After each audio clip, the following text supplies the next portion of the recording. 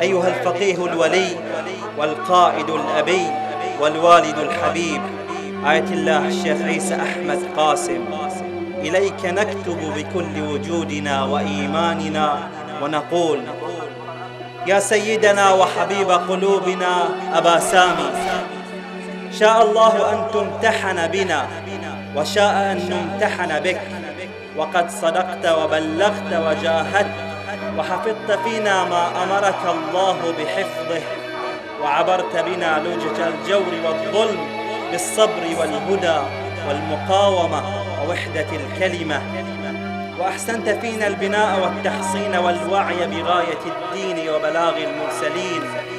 وها نحن اليوم يا أبانا نمتحن بك وقد عقدنا النية وأرسينا القرار ورسخنا العزم وحددنا المسار. لن يهون علينا ديننا وإسلامنا. لن نترك قيادتنا الربانية. ولن نسلم محمدا. وإن طالت بنا شعب أبي طالب. ولن نترك المبيت في داره فدائيين. ما دامت الأحلاف مقاسمة دمه. ولن يخفت دوي عشقنا حول داره. ولو حاصرتنا النبال وصوبتنا البنادق ولن نخون حرارة دم الحسين في قلوبنا بالخذلان في امتحان هذا الزمان. فإليك وبك نجدد البيعة والعهد ونقدمك فينا إلى الله ورسوله إماما وبرهانا أننا لسنا كبني إسرائيل في التهاون بحرمة الأولياء.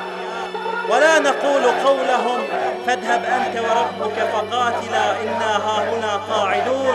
لا والله يا سيدي ونحن أبناء أمير المؤمنين الذي يقول في سبيل الله ونصرة الحق والله لو لقيتهم فردا وهم ملء الأرض ما باليت ولا استوحشت.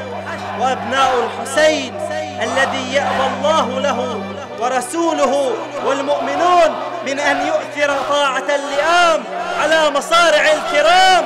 هيهات من الذلة هيهات من الذلة هيهات من الذلة هيهات من الذلة